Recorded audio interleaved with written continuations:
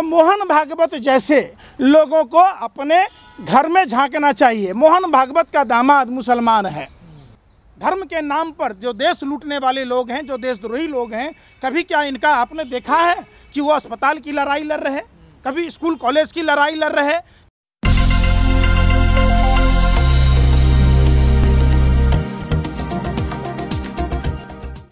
मोहन भागवत सबसे पहले ये जवाब दें कि मोहन भागवत किसे हिंदू कहते हैं? ये सनातन परंपराओं का देश है और सबसे पुराना धर्म हमारा है। दूसरी बात कि मोहन भागवत कहते हैं, हिंदू कम हो रहे, क्यों कम हो रहे हैं? आप बी कार में चलते हैं, आप जेड प्लस सुरक्षा लेते हैं, आप अपने लिए नया कार्यालय बना रहे हैं, उसके लिए हिंदू धर्म कमज़ोर नहीं हो रहा, कम नहीं हो रहा। जब भारत का प्रधानमंत्री हिंदू है, जब राष्ट्रपति हिंदू है, मुख्यमंत्री हिंदू है, राज्यपाल हिंदू है, पुलिस कमिश्नर हिंदू है, एसपी हिंदू है, कलेक्टर हिंदू है, तमाम अधिकारी हिंदू है तो अब हिंदुओं के बारे में अगर इस तरीके की बात मोहन भागवत कहते हैं तो मोहन भागवत जैसे लोगों को अपने घर में झांकना चाहिए। मोहन भागवत का दामाद मुसलमान है। उनकी भतीजी किससे शादी किया? भाजपा में आपने रामलाल को देखा होगा, रामलाल का दामाद मुसलमान है। शाहनवाज हुसैन किसका दामाद है? मुख्तार अब्बास नकवी किसका दामाद है? ये तो मोहन भागवत जी बताइए। और दूसरी बात, आप भाजपा की सरकार है, आज मैं खुद बेलारी से कर्नाटक संपर्क पकड़ कर आया। ये कहते हैं, हिंदू हिंदू हिंदू बात कहते हैं। अरे भाई, हिंदुओं का त्यौहार है दिवाली। छठ ये पूरा कार्तिक महीना हिंदुओं के बार त्यौहार के लिए जाना जाता है। ऐसे में ट्रेनों की संख्या को कम कर देना और हिंदू या जो धर्म के मानने वाले लोग हैं उनके लिए नारकीय जीवन था।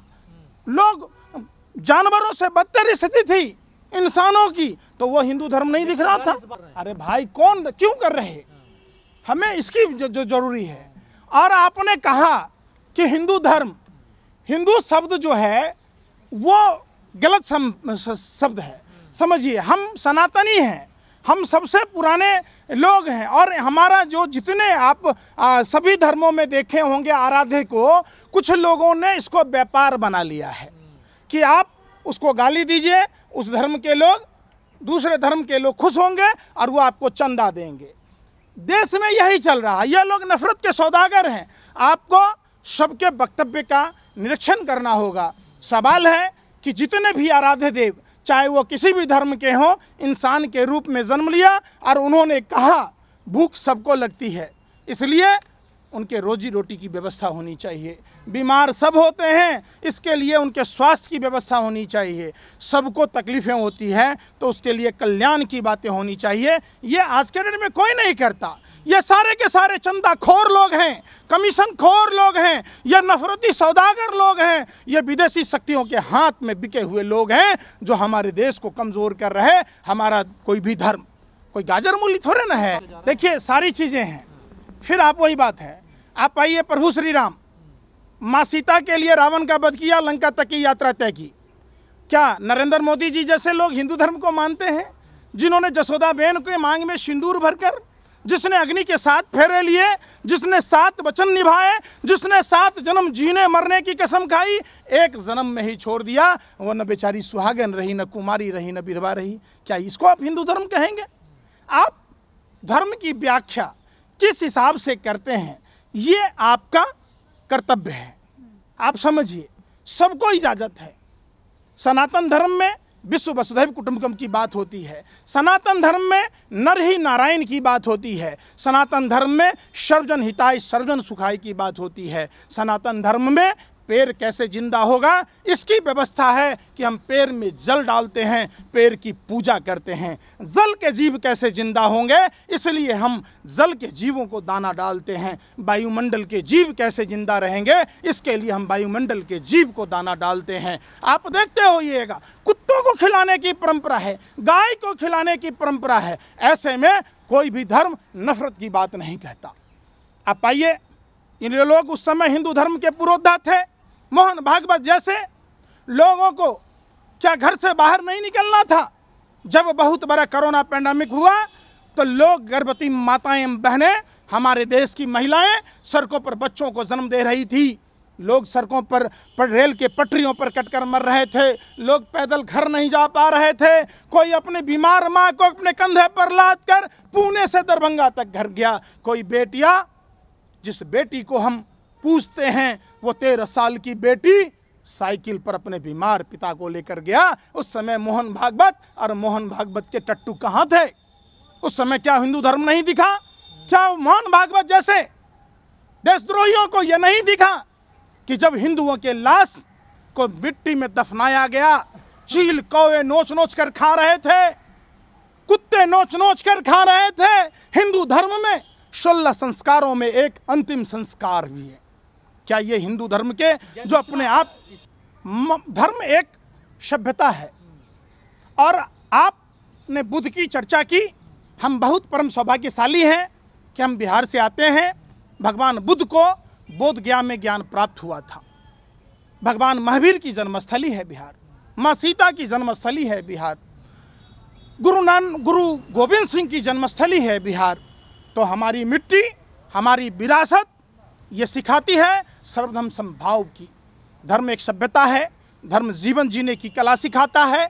जितने भी आराध्य देव हुए, उन्होंने जब जब मानव समाज में कुरूतियाँ ज़्यादा फैल गई तो वो उस कुरूतियों को दूर करने के लिए आए, जो भगवान के नाम से और अलग अलग पंथों के नाम से जाने जाते हैं। हम सभी धर्मों का सम्मान करते हैं। हम उन चंदाखोरों की तरह नहीं हैं। कि हम दूसरे धर्म को नीचा दिखाने की बात कहते, कोई भी धर्म नहीं सिखाता है, कोई भी धर्म आप बुद्ध के पंचशील के सिद्धांत बताओ। जब महात्मा बुद्ध से जब पूछा गया तो वह मौन थे, वो आलोचना नहीं करने की बात बताए। उन्होंने क्रोध को त्यागने की बात की, उन्होंने लोभ को त्यागने की बात की, उन्होंने दूसरे किसी भी धर्म को निंदा से रोकने की बात की। आप सबसे पहले तो बौद्ध धर्म है, आप समझिए। धर्म और धर्म में फ़र्क समझिए। जो महात्मा गौतम बुद्ध ने जो दुनिया को संदेश दिए, आज इसीलिए भारत विश्व गुरु कहलाता है। आपको पता होना चाहिए, और जब जब हमारे प्रधानमंत्री भी विदेश की धरती पर जाते हैं तो गांधी और बुद्ध की बात कहते हैं, जब देश में आते हैं तो गोडसे की बात कहते हैं। जातियों का कोई भी ज़िक्र धर्म में नहीं है। समझिए, जातियाँ आपस में नफरत के लिए नहीं है। जातियाँ बिल्कुल ये जो लोग हैं, जो धार्मिक ठेकेदार हैं, जो मुनाफे के लिए काम करते हैं, वो ऐसा करते हैं। आपने देखा होगा, निषाद राज त्यागराज अब जरासंध को क्या कहेंगे? भगवान श्री कृष्ण के नाना थे। आप हर जाति से कहेंगे? ऐसा नहीं होता, गुरु। सभी का सभी में सब कुछ होता था। शादी विवाह रिश्तेदारी होती थी। तो आप आइए ना आप रघु और यदु भाई थे। रघु के वंशज रघुवंशी हो गए यदु के वंशज यदुवंशी हो गए। तो ये सब चीज़ें मिथ्या चीज़ें हैं। हमें उन चीज़ों में नहीं जाना चाहिए। मिथ्या मानते हैं मैं सब जो वो चीज़ें जो इंसान को तकलीफ़ देती है जो इंसान को इंसान से दूर करती है मैं उन सबको मिथ्या मानता हूँ। चूँकि हमारे आराध्य देव प्रभु श्री कृष्ण ने ये साफ़ और साफ़ कहा, नर ही नारायण है। भूखे को खाना खिलाओ, प्यासे को पानी पिलाओ, बीमार का तामीरदारी करो। यही हम सभी धर्म सिखाता है। धर्म सीखिए, धर्म को पढ़िए। आप कुरान भी अगर देखे होंगे, कुरान में चालीस घर कोई भूखा नहीं होना चाहिए। कुरान में दारू नहीं पीना चाहिए। हिंदू धर्म में भी दारू नहीं पीना चाहिए। बौद्ध धर्म में भी नहीं पीना चाहिए। कितने लोग हैं जो नशा का आदि नहीं है भैया? था उस समय आप धर्म नहीं मानते। एक दूसरे को गाली देना वर्जित है धर्मों में। आप धर्मों, अपने अपने धर्म शास्त्रों को पढ़िए, जो आपके बाप दादा पढ़ते आए हैं। हम सभी धर्मों का सम्मान करें। जो धर्मों में अच्छाइयाँ हैं, उसका हम तहे दिल से उसका स्वागत करें और अपने आचरण में अपनाएँ।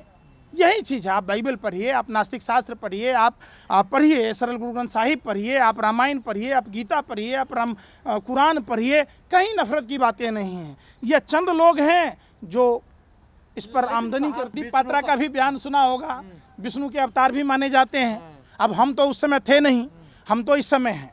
हमारे लिए आप अगर बौद्ध हैं तो भी इंसान हैं और ये ईसाई हैं तो ये भी हमारे भाई हैं। वो ये बवाल राजनीति की रोटी सेकने वाले लोग करते हैं।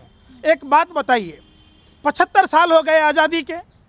जातियों के नाम पर और धर्म के नाम पर व्यापार करने वाले जो व्यापारी हैं कभी क्या कॉन्स्टिट्यूशनल क्लब में प्रोग्राम करने से क्या उस जाति का कल्याण होगा?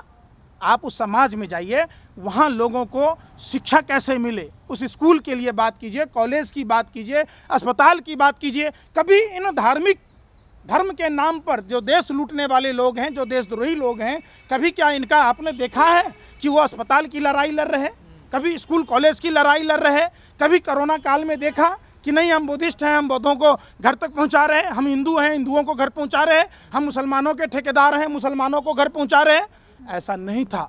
सीखिए जाइए।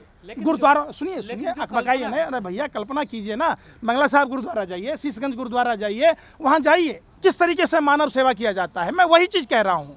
सभ्य धर्म है मानव सेवा। आपने नहीं की होगी आप नहीं पढ़ा होगा हिंदू धर्म को। यही मैं कह रहा हूँ हम जिस धर्म में हैं हम देखिए हम इसकी भी इजाज़त नहीं देते कि आप इस्लाम को गाली दो, बौद्ध को गाली दो, हिंदू को गाली दो, सिख को गाली दो, आप उसको गाली दो। इसकी इजाज़त मैं नहीं देता और मैं उन चंदाखोरों में से शामिल नहीं हूँ। मैं इस देश का बेटा हूँ, सभी धर्मों का सम्मान करता हूँ। जो इंसान है, इंसान इंसान से मोहब्बत करे, इंसान इंसान को पूजे, इंसान की सेवा, नर की सेवा, नारायण की सेवा, यह हमारा धर्म सिखाता है। इसलिए किसी भी धर्म पर नो कमेंट।